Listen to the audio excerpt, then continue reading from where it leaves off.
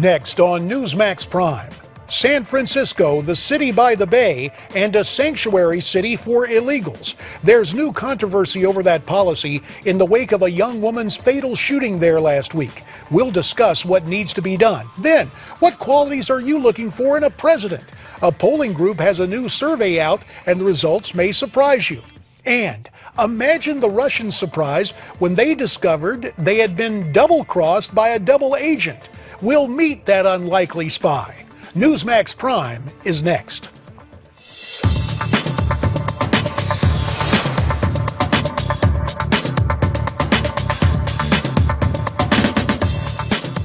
Welcome to Newsmax Prime. I'm JD Hayworth. Of prime interest tonight, the shocking murder of a young woman in San Francisco, sparking new debate about the unwillingness of major cities to enforce immigration law and the Obama administration's assistance with that de facto amnesty. 32 year old Catherine Steinle was out on a waterfront stroll with her father last week when authorities say she was attacked by Francisco Sanchez, a repeat drug offender and an illegal immigrant who had been deported five times. Sanchez told police he was in San Francisco because he knew he would not get deported.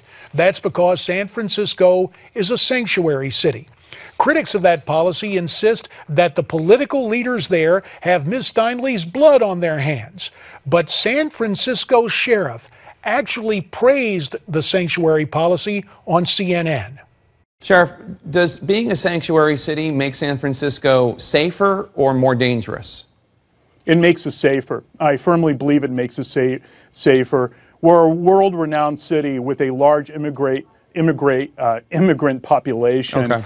And of that population uh, is a population that is also here undocumented. For a law enforcement perspective, we want to build trust with that population and our sanctuary city and other attendant laws have allowed us to do that. Ross Mirkarimi, the sheriff, trying to spit out some rationale for sanctuary policy.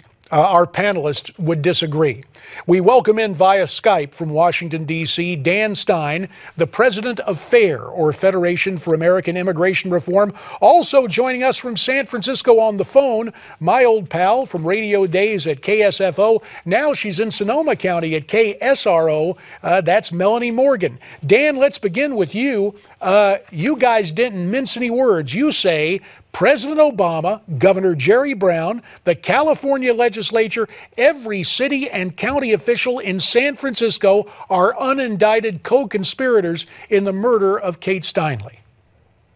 Well, what a what a sad event. What a sad and, un, and an unfortunate thing that never should have happened. But in the end, we know that the Obama administration and their political allies in California and the ACLU have created an atmosphere where immigration law enforcement is considered both unimportant and, and not supportable. You heard the local sheriff. We have argued for some time that what the ACLU is trying to do and push state and local police to not cooperate with federal immigration authorities with immigration customs enforcement is tantamount to of you know a, a jeopardizing of the public safety and public security and we see now every week somewhere in the country illegal aliens who've been deported two, three, four times, five times, or more, who then are winding up killing people, getting involved in very serious violent felonies. And the Obama administration itself has been a wrecking ball. I mean, the audacity of the administration to try to blame the GOP for not passing their big amnesty bill, and that's why Ms. Steinle was unfortunately murdered. It, it, it, it, it would be funny if it wasn't such a tragedy. I mean, here you have an administration which has done an administrative amnesty under the pretense of claiming they don't have the resources. They're not deporting almost anybody. They've completely they've dismissed cases that were pending before courts, and now they're telling state and local authorities, you don't need to worry about criminal aliens. You can release them, as is obviously evidenced by the fact that this guy had been uh, had been released, and he when should have speaking, been. And, and, speaking of what's been going on on the ground there in San Francisco and surrounding area, really throughout the state of California, Melanie, on your radio program, you're trying to hold people's feet to the fire. What are you hearing from officials? Is anybody willing to talk to you about their embrace of sanctuary policies? Well, the short answer is no, JD. They have not been willing to come forward and defend the policies that I believe is responsible for the murder of this beautiful young woman, Kate Steinle, in San Francisco. What most people don't understand is that there are 30 counties and municipalities in California that have adopted sanctuary status for illegal immigrants, and there's not only 30 cities and counties in California, but 300 across the country. You may, in fact, be living in a sanctuary city and not realizing it.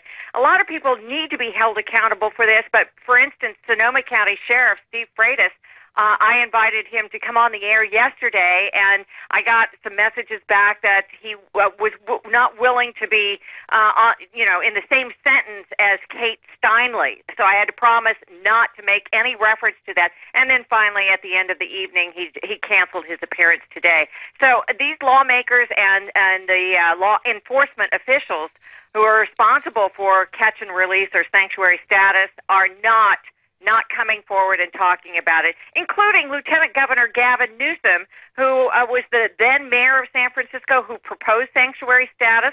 By the way, uh, he is the same politician who broke the law by actually engaging in gay marriages which of course um, started the ball rolling all across the country. And Nancy Pelosi, we haven't heard from Nancy Pelosi. She was also responsible with Gavin Newsom of pushing this forward, the sanctuary city status, and well, silence on their end. Meantime, Melanie and Dan, there seems to be finger pointing going on between ICE and the San Francisco Sheriff's Office. Take a listen to what officials from both agencies had to say, and then we'll get your reaction on the backside. ICE had sent a request over to San Francisco Sheriff's Office saying that they wanted to be notified when this suspect was going to be released from their custody.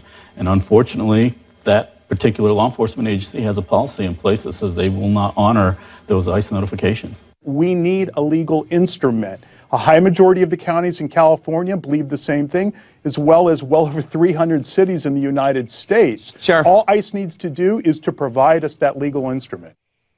Ross Mirkarimi always trying to dodge law enforcement. We've got about two and a half minutes left. Melanie, since you're on the ground out there, we've seen Mirkarimi do some weird things uh, during his, quote, stewardship as sheriff of San Francisco there is always an insistence not to enforce immigration law and claim some sort of rationale that that is lawful.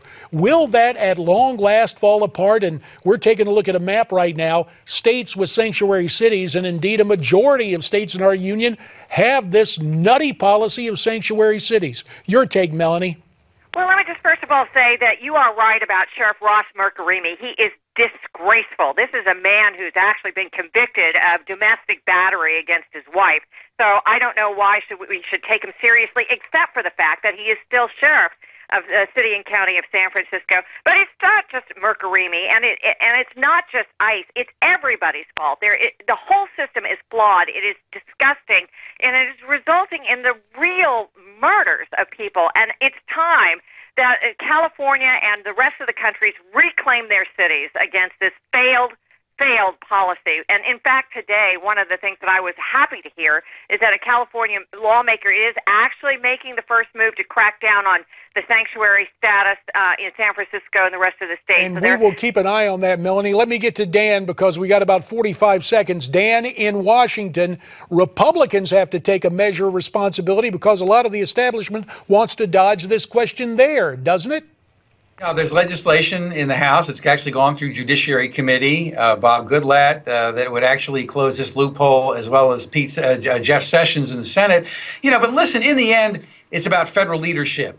Uh, the federal authorities have watched as these local jurisdictions have passed these non-cooperation resolutions, and under this administration, there's been no response.